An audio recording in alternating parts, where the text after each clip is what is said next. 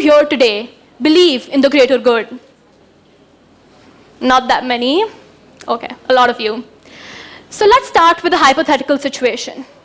Imagine you are a doctor and you have six patients with you, each one in a critical situation. Now, five of these patients need immediate organ transplants, different organs, of course. And the sixth patient has a 50 50 chance of surviving. Now, you, you as a doctor, know that you could use the sixth patient as an organ donor and save all other five lives. What do you do? It's a simple comparison, right? One life versus five lives.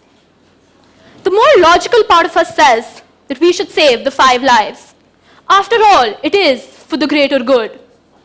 But then, the more morally conscientious part of us asks the question can we really compare lives?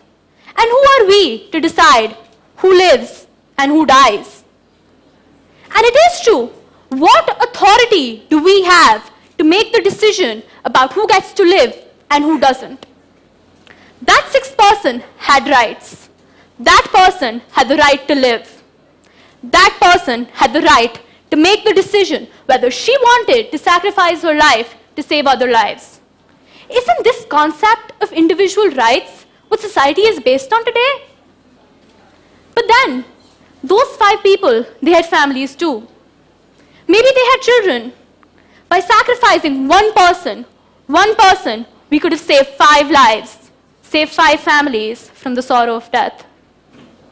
And to be honest, the grief of five families is more than the grief of one, right?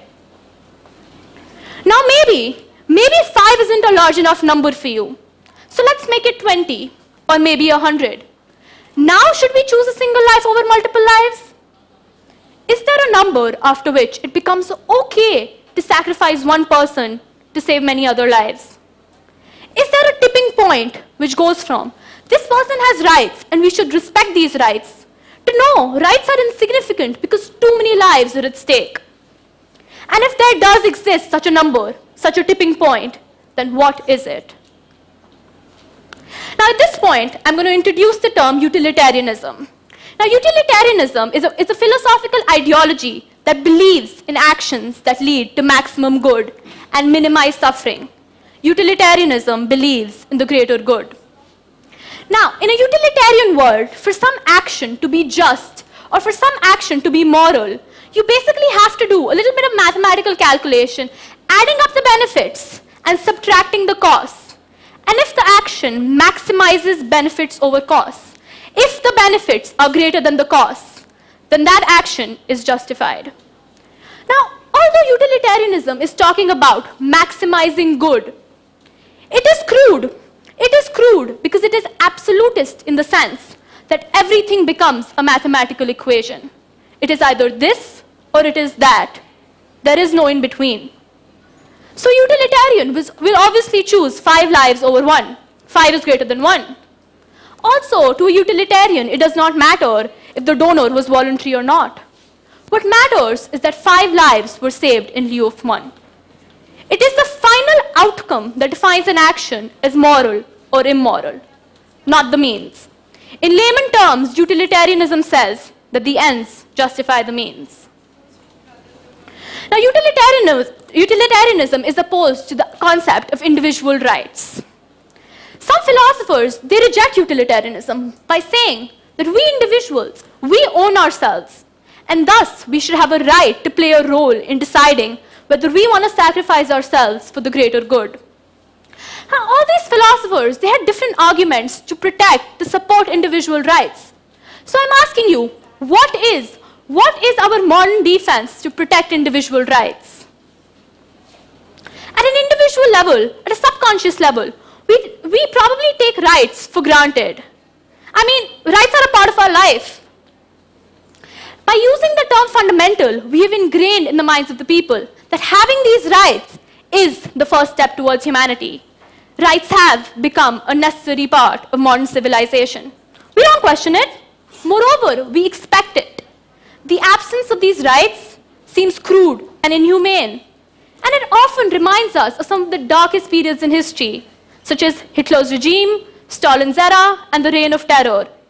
each an example where individual rights were violated with the excuse of the greater good.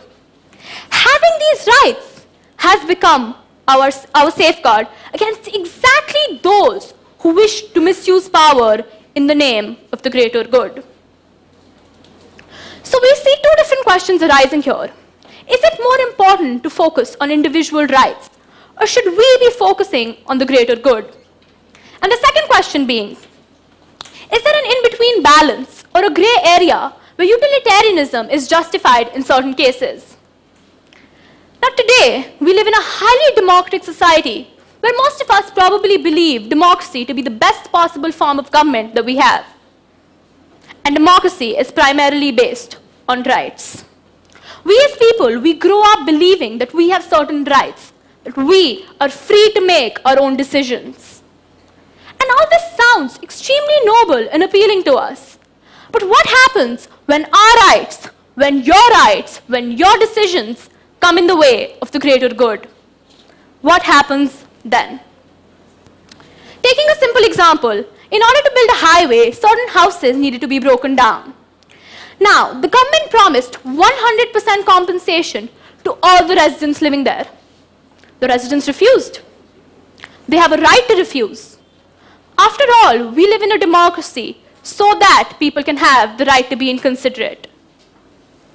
Thousands of people were stuck in traffic every single day for hours. Obviously, it is in the interest of the greater good to relocate those people. Well, to be fair, those people don't want to move because that is their home. That is where they've established their community. It is only natural that they wouldn't want to shift. But I ask you, is it fair that thousands of people suffer just because they don't want to move? So in this situation, what should the government do? Should the government remain quiet? Or should it force the people to move out?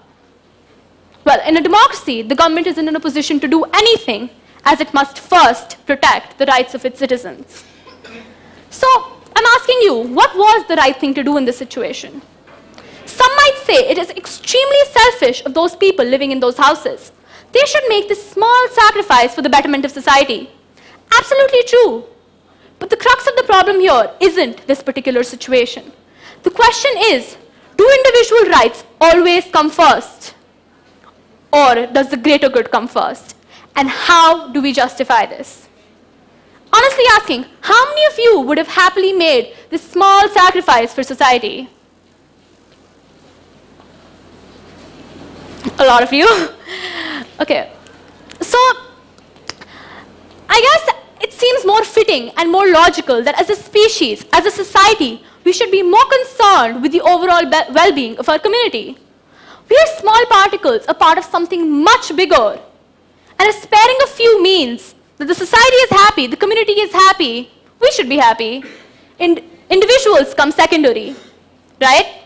But then, doesn't that go against every moral fiber in your body? We, as people, have chosen to recognize each individual as significant. It is our humanity that leads us to believe that each life is important, equal, and that every person has a say over his or her own life. I mean, all of us want to say over our own lives, right? Here we see the power struggle between practicality and morality. Well, in some twisted sense, being practical means that more of society is happy. And isn't the welfare of society the very aim of morality? Well, this, I suppose, depends on how you define morality. Going by the dictionary definition, morality was defined as doing the right thing, choosing good over bad. Now, this again comes down to how you define good. Now, amusingly enough, the dictionary I happen to be using describes good as displaying moral virtue. It's a circular definition, going nowhere. This is a vague and controversial argument. I'm sure none of us completely believe in any one side of this. We're in between, conflicted between our rational desire to be progressive and practical and our emotional desire to be fair and considerate. Once again, we have a war waging between the heart and the mind, and neither one ever wins.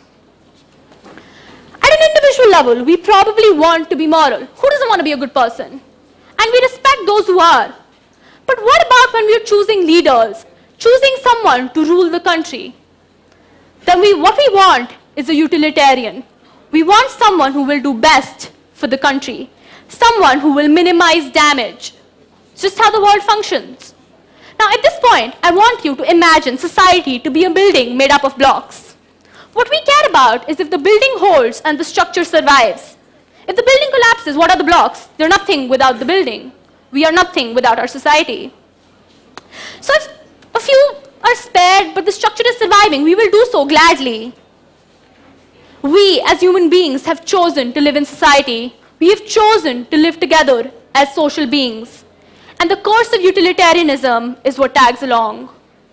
To survive as a community, we must think and act in favor of the community. It is a necessary evil. But then, what about things like the cost-benefit analysis? Now, the Czech government recently held a cost-benefit analysis on smoking. Now, the study revealed that smoking was actually beneficial to the economy. Now, money that the government spent on, uh, on diseases caused due to smoking was more than made up for in taxes. But it wasn't just the taxes. When, when people smoke, they tend to die early. And when people die early, that saves the government a lot of money. The government didn't have to pay for pensions. Who would they give it to? Didn't have to pay for all the diseases that come with old age, a lot of them. Didn't have to give out health insurance. And they didn't have to pay for old age homes. There were no old people. Old people were becoming a liability to the economy, and smoking was dealing with the problem. Smoking was beneficial to the economy. So why make smoking illegal? Well, to be fair, the people knew the risks of smoking. They were making their independent, informed decisions. And what's more is that all the money that the government saved per person who smoked and died was, could be used to provide health, shelter, education to thousands of other people. But the government could have stopped these deaths, and it didn't, simply because smoking was economical. So does this make the Czech government a good one or a bad one? At the end of the day, I suppose we cannot classify situations into categories by saying that in this case we should protect individual rights, but in this case we should adopt utilitarian policy. I, I guess most of us would come to agree that morality is much more complicated than simply being, being black or white. Every single day of our lives, we are faced with decisions we cannot make decisions we have to live with. And as all of us know, and a simple saying goes, in order to gain something, you have to lose something. In harsher, or perhaps more accurate words, the famous Russian leader, dictator, Stalin once said, in order to make an omelette, you've got to crack a few eggs. I repeat, in order to make an omelette, you've got to crack a few eggs. Of course, by cracking a few eggs, Stalin meant that you've got to kill a few hundred thousand people every now and then. But, and he, and he used the statement to justify gruesome things. But it is the essence of the statement that is important. And leaders across time and space know and believe what Stalin has said to be true. Sometimes you've got to make sacrifices for the greater good. But the question, I suppose, is, is the omelette really worth breaking the eggs? Thank you.